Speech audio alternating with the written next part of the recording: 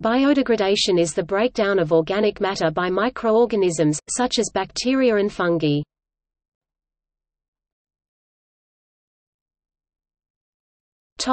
Mechanisms The process of biodegradation can be divided into three stages, biodeterioration, biofragmentation, and assimilation. Biodeterioration is a surface-level degradation that modifies the mechanical, physical, and chemical properties of the material. This stage occurs when the material is exposed to abiotic factors in the outdoor environment and allows for further degradation by weakening the material's structure. Some abiotic factors that influence these initial changes are compression mechanical, light, temperature, and chemicals in the environment. While biodeterioration typically occurs as the first stage of biodegradation, it can in some cases be parallel to biofragmentation. Biofragmentation of a polymer is the lytic process in which bonds within a polymer are cleaved, generating oligomers and monomers in its place. The steps taken to fragment these materials also differ based on the presence of oxygen in the system. The breakdown of materials by microorganisms when oxygen is present is aerobic digestion, and the breakdown of materials when is oxygen is not present is anaerobic digestion. The main difference between these processes is that anaerobic reactions produce methane, while aerobic reactions do not however, both reactions produce carbon dioxide, water, some type of residue, and a new biomass. In addition, aerobic digestion typically occurs more rapidly than anaerobic digestion, while anaerobic digestion does a better job reducing the volume and mass of the material. Due to anaerobic digestion's ability to reduce the volume and mass of waste materials and produce a natural gas, anaerobic digestion technology is widely used for waste management systems and as a source of local, renewable energy. The resulting products from biofragmentation are then integrated into microbial cells, this is the assimilation stage. Some of the products from fragmentation are easily transported within the cell by membrane carriers. However, others still have to undergo biotransformation reactions to yield products that can then be transported inside the cell. Once inside the cell, the products enter catabolic pathways that either lead to the production of adenosine triphosphate ATP or elements of the cell structure.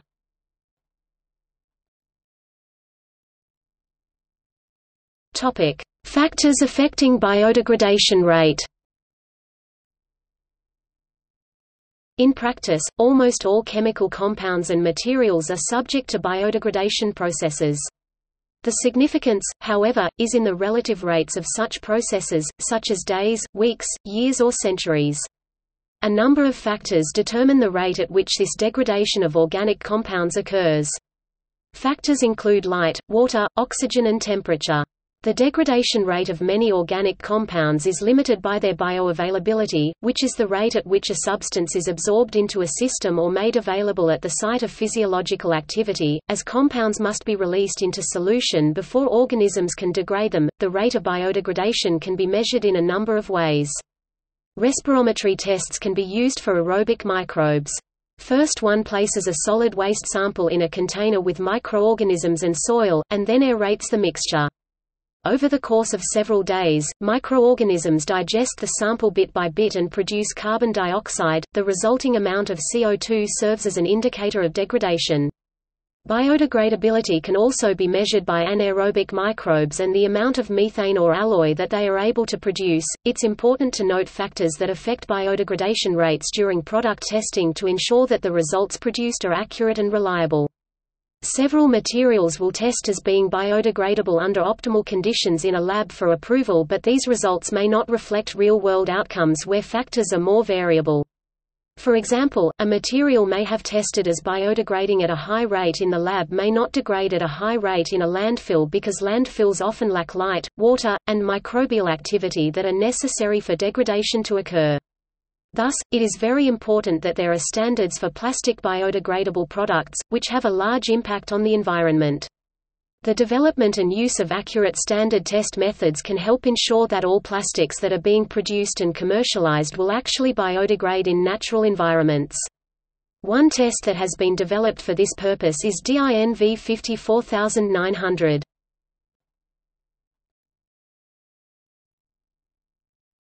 Topic: Plastics The term biodegradable plastics refers to a material that maintains its mechanical strength during practical use but break down into low-weight compounds and non-toxic byproducts after their use. This breakdown is made possible through an attack of microorganisms on the material, which is typically a non-water soluble polymer.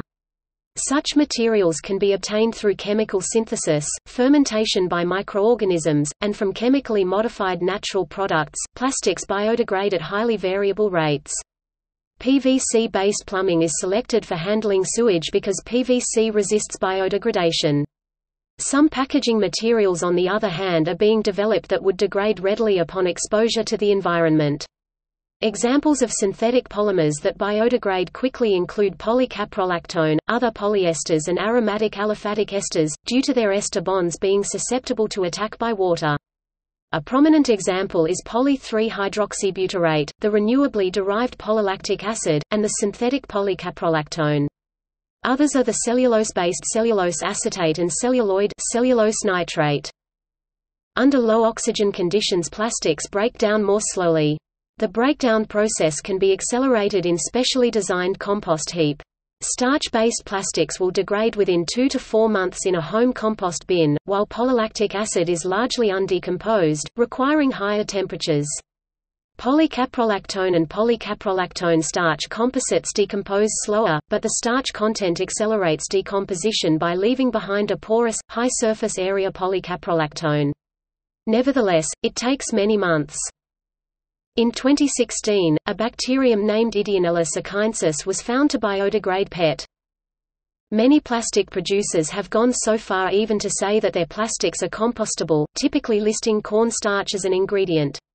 However, these claims are questionable because the plastics industry operates under its own definition of compostable that which is capable of undergoing biological decomposition in a compost site such that the material is not visually distinguishable and breaks down into carbon dioxide, water, inorganic compounds and biomass at a rate consistent with known compostable materials.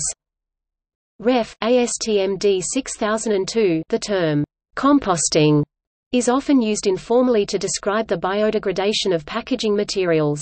Legal definitions exist for compostability, the process that leads to compost. Four criteria are offered by the European Union. Chemical composition, volatile matter and heavy metals as well as fluorine should be limited. Biodegradability, the conversion of greater than 90% of the original material into CO2, water and minerals by biological processes within six months. Disintegrability – At least 90% of the original mass should be decomposed into particles that are able to pass through a 2 by 2 mm sieve. Quality – Absence of toxic substances and other substances that impede composting.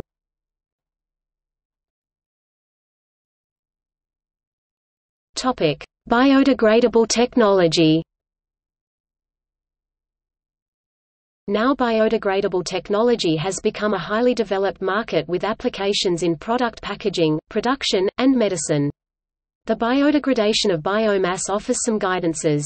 Polyesters are known to biodegrade. Oxo-biodegradation is defined by CEN, the European Standards Organization, as degradation resulting from oxidative and cell-mediated phenomena, either simultaneously or successively, whilst sometimes described as oxo-fragmentable, and oxo-degradable.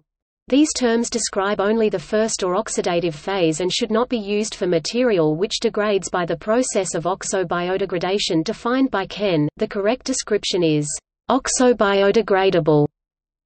By combining plastic products with very large polymer molecules, which contain only carbon and hydrogen, with oxygen in the air, the product is rendered capable of decomposing in anywhere from a week to one to two years. This reaction occurs even without prodegradant additives but at a very slow rate. That is why conventional plastics, when discarded, persist for a long time in the environment. Oxo-biodegradable formulations catalyze and accelerate the biodegradation process but it takes considerable skill and experience to balance the ingredients within the formulations so as to provide the product with a useful life for a set period, followed by degradation and biodegradation. Biodegradable technology is especially utilized by the biomedical community. Biodegradable polymers are classified into three groups medical, ecological, and dual application, while in terms of origin they are divided into two groups, natural and synthetic. The clean technology group is exploiting the use of supercritical carbon dioxide, which under high pressure at room temperature is a solvent that can use biodegradable plastics to make polymer drug coatings. The polymer meaning a material composed of molecules with repeating structural units that form a long chain is used to encapsulate a drug prior to injection in the body and is based on lactic acid, a compound normally produced in the body, and is thus able to be excreted naturally. The coating is designed for controlled release over a period of time, reducing the number of injections required and maximizing the therapeutic benefit. Professor Steve Howdle states that biodegradable polymers are particularly attractive for use in drug delivery, as once introduced into the body they require no retrieval or further manipulation and are degraded into soluble, non-toxic byproducts. Different polymers degrade at different rates within the body and therefore polymer selection can be tailored to achieve desired release rates. Other biomedical applications include the use of biodegradable, elastic shaped memory polymers. Biodegradable implant materials can now be used for minimally invasive surgical procedures through degradable thermoplastic polymers. These polymers are now able to change their shape with increase of temperature, causing shape memory capabilities as well as easily degradable sutures. As a result, implants can now fit through small incisions, doctors can easily perform complex deformations, and sutures and other material aids can naturally biodegrade after a completed surgery.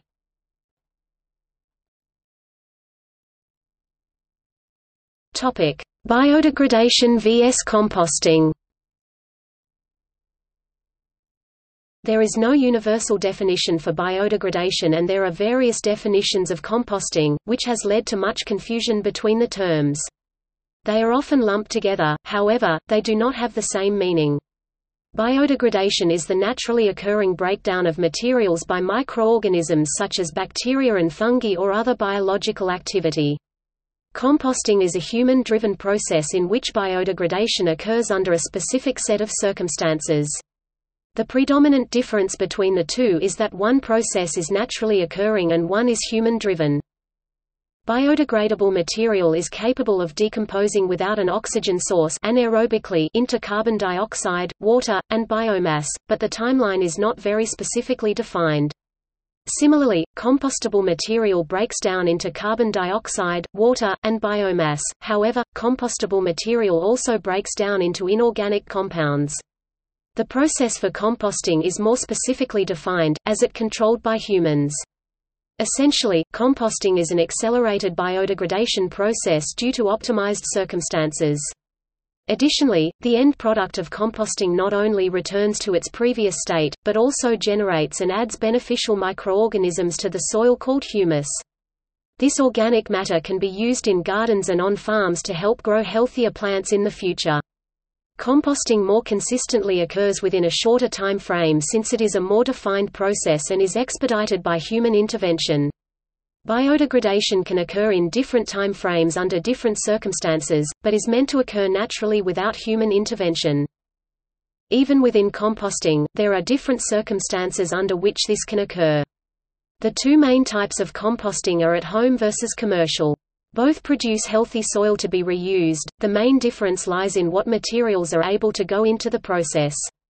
At-home composting is mostly used for food scraps and excess garden materials, such as weeds.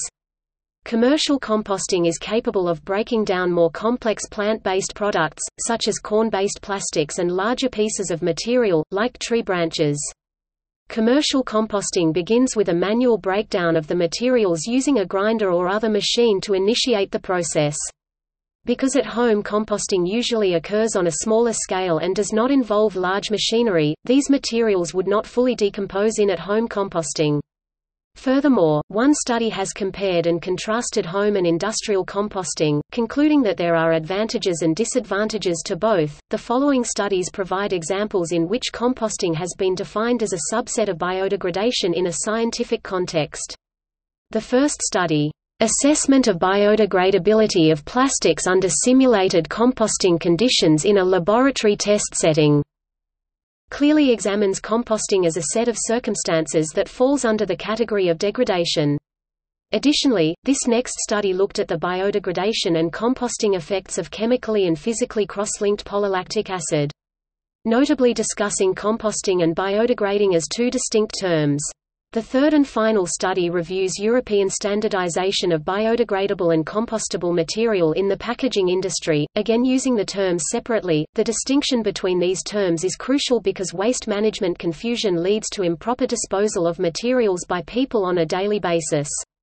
Biodegradation technology has led to massive improvements in how we dispose of waste. There now exist trash, recycling, and compost bins in order to optimize the disposal process.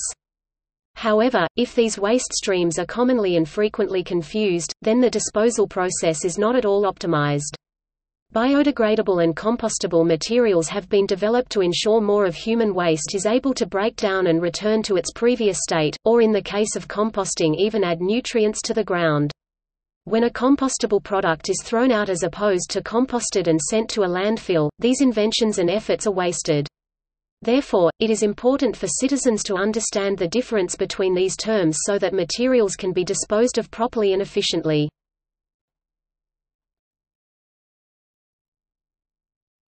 Topic: Environmental and social effects.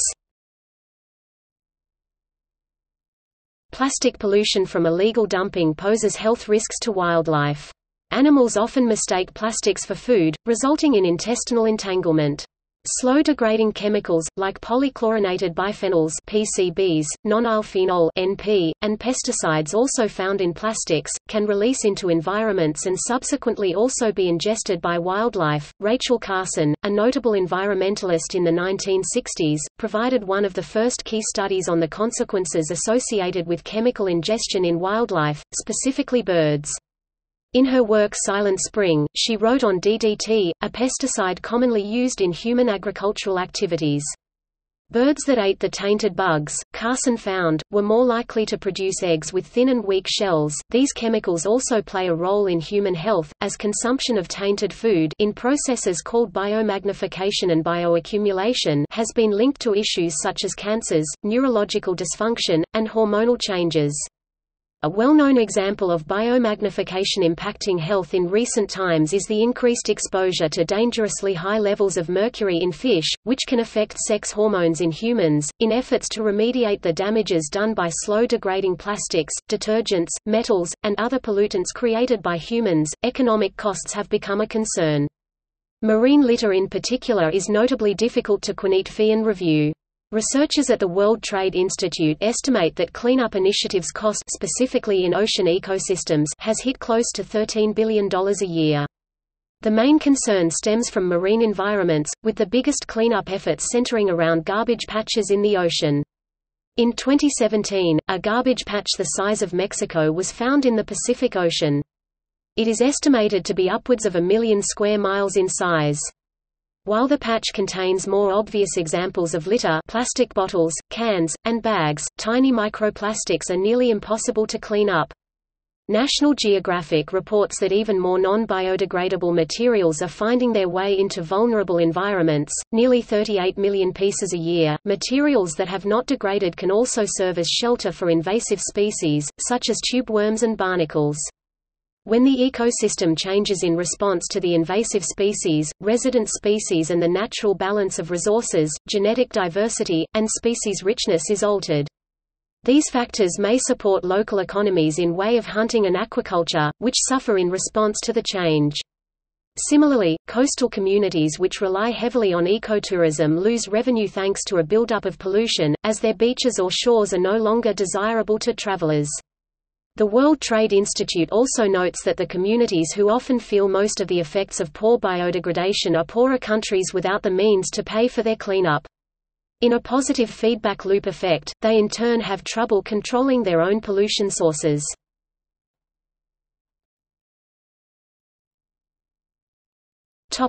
Etymology of biodegradable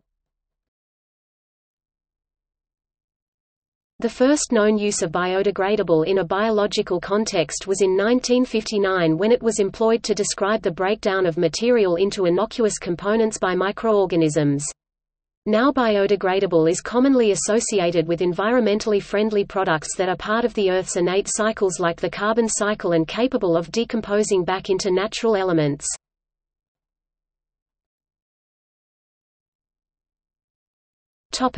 See also Notes